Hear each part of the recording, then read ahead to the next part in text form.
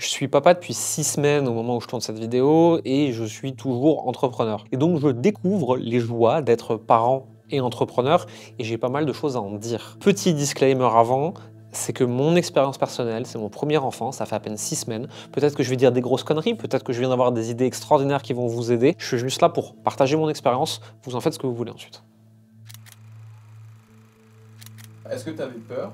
De remettre en jeu, entre guillemets, ton, entreprise euh, en faisant ça, en faisant un enfant Je voulais un enfant, je le savais, mais ouais, j'avais super peur. Euh, T'es entrepreneur, ton identité, c'est entrepreneur, ça prend du temps, ça prend de l'espace mental. Et là, on te dit, tu as un enfant.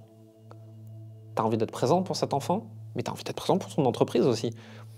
Et tu sais pas comment tu vas goupiller les deux, à quel point ça va te changer, parce que le, cerveau et la biochimie de, l'homme, de la femme aussi, mais de la femme, je, m'y connais moins, mais de l'homme change énormément à la naissance. Qui je vais être après? Quel entrepreneur je vais être? Quel père je vais être? Bien sûr que ça fait flipper. Moi, c'est pour ça que je suis allé voir une psy six mois avant la naissance, en fait. Hein.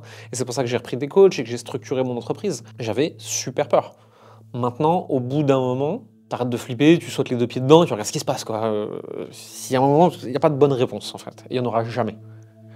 Et j'ai vu des gens mieux préparés que moi se planter. J'ai vu des gens pas préparés réussir.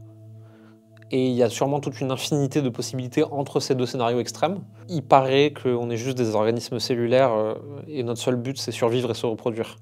Bon, en développant un business, en gagnant de l'argent, etc., ben, je le fais survivre. Et donc ensuite, je le fais se reproduire. Et euh, pour l'instant, là où j'en suis, c'est une expérience extraordinaire. Le reste, en vrai, je ne sais pas. ma, ma crise de bonne résolution à la naissance. En fait, il y a deux trucs. Le premier, c'est que quel exemple je veux être pour mon enfant? Quel père je veux être? Ben, euh, On fume plus, on boit plus, ou très peu, on fait plus de sport, euh, on passe plus de temps à marcher, euh, on, change un peu de mode de vie parce que quel exemple je veux être en fait? Et le deuxième truc, c'est parent très fatigant, entrepreneur très fatigant, en fait, tout ce qui ajoute de la fatigue dans ma vie, je l'ai dégagé. Donc euh, la cigarette, on sait que ça fout en l'air le sommeil, la santé, tout le bordel, ça saute. L'alcool pour le sommeil, il n'y a rien de pire, ça saute. Pour être en bonne santé, il faut faire du sport, obligatoire. Euh, et ma vie sociale doit se caler sur ma journée, en fait. C'est-à-dire que si, tu veux me voir dans la vie, aujourd'hui, c'est tu viens faire du sport avec moi quand j'en fais, tu viens manger avec moi quand de toute façon je mange, ou tu viens marcher avec moi quand de toute façon je marche. Mais j'ai pas de temps en dehors de ça. C'est-à-dire quand je peux, je dors. Quand je dors pas, je bosse. Si je bosse pas, je suis avec ma famille ou dans l'autre sens, peu importe. Mais j'ai pas de temps qui dépasse en dehors de tout ça.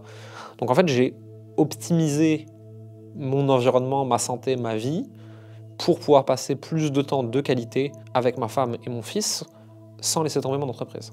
Et pour ça, j'ai dû faire des ajustements qui ressemblent à une crise de la quarantaine de bonne résolution. Mais en vrai, c'était juste une obligation. Quoi. De peut-être casser le mythe du côté euh, c'est impossible. Hmm de faire les deux à la fois, donc entreprendre, enfin d'avoir sa boîte et, un enfant. Qu'est-ce qui t'a permis de casser l'idée? Peut-être c'est impossible, enfin je sais pas si tu il y a, y a plein de gens qui disent que c'est impossible d'être parent plus entrepreneur. Je pense que déjà impossible, c'est une connerie. S'il y a au moins une personne sur Terre qui l'a fait, c'est que c'est possible. Ensuite, a des niveaux de difficulté. Je suis une femme seule de 45 ans avec trois enfants, dont deux en bas âge, et je lance mon activité de zéro. Possible, hein, mais pas le plus simple. Hein. Moi, je suis un homme de 35 ans homme prend tout son sens parce que c'est pas moi qui l'allait, hein. euh, avec une entreprise déjà structurée, des équipes, avec une tête pas trop mal faite a priori, il y, a des, des niveaux de difficulté. En fait, impossible, non. Et après, quels sont tes enjeux? C'est-à-dire que si mon but c'est de faire x10 ou d'introduire une boîte en bourse, avec un bébé en bas âge, ça va être compliqué. Hein.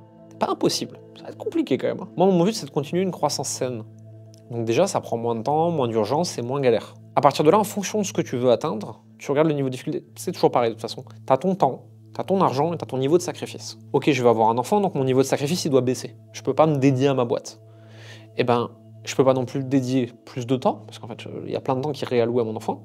Bon, ben, je vais devoir dépenser plus d'argent pour avoir d'autres personnes qui viennent m'aider. Que ce soit dans ma vie perso ou dans ma vie pro. Et tu fais tes calculs comme ça, en fait, tu, bouges tes ressources comme ça, temps, argent, sacrifice. Et en fonction de ce que tu veux atteindre, de toute façon, tu vas en dépenser 1 à 2 sur 3 obligatoirement. Des fois les 3. Donc moi, j'ai ajusté mes ambitions avec mon temps, mon niveau de sacrifice voulu et l'argent que j'étais prêt à dépenser.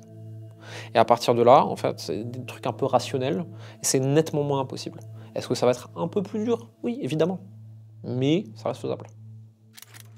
Au quotidien comment, comment tu vis le truc? Est-ce que tu arrives quand même à, à, savourer ces moments Je passerai jamais assez de temps avec mon fils par rapport à ce que je voudrais, je pense. Mais à côté de ça, mon entreprise, c'est important pour moi aussi. Hein, donc, pas c'est OK comme ça. Le plus dur et le plus chiant, c'est quand tu as des petites merdes dans l'entreprise. Et tous les patrons de boîte savent qu'il y en a tout le temps. Hein, ça, fait partie du job. Hein.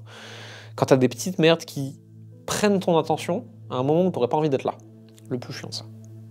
Ça, c'est terrible.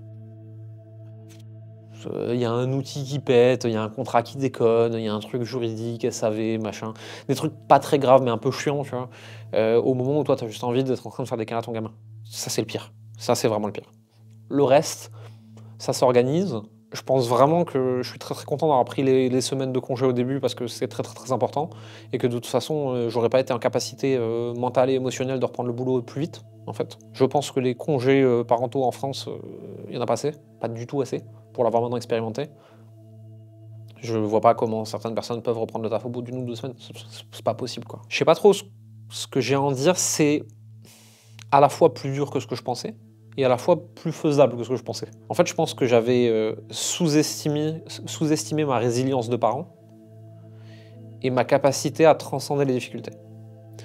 Donc finalement, c'est plus dur que ce que je croyais, mais j'y arrive mieux que ce que je croyais. Et en fait, l'humain évolue et c'est merveilleux, quoi. Moralité. Euh, ne jamais penser que c'est impossible, anticiper, structurer, pas prendre les choses à la légère. Un enfant plus une entreprise, c'est pas un truc qui se prend à la légère, mais largement faisable, plein de gens l'ont fait.